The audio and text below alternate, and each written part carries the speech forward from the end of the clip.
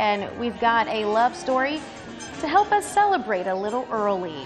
Yeah, that's right. Bill Wood has a tale of a match made in heaven. Seth, actually, let's call it movie heaven.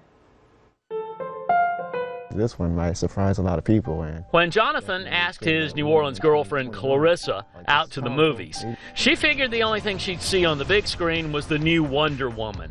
But he had another movie in mind. But someone has decided enough is enough. Woo!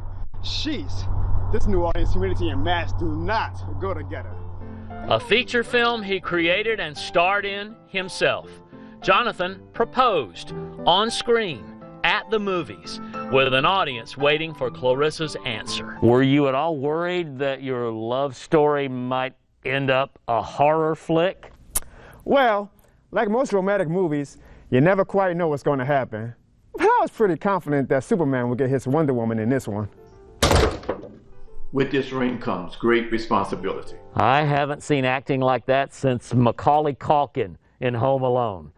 Spoiler alert, only you will decide how this movie ends. Think about it. I was surprised. I couldn't believe what I was seeing, but I was never more sure of what the answer was, which was yes. Jonathan asked Clarissa to say yes. And you know what? Will you marry him? She did. Somebody better call the folks who hand out the Oscars. It's another happy Hollywood ending. I wonder if the sequel is going to include kids. Bill Wood, WGNO News. What a great story.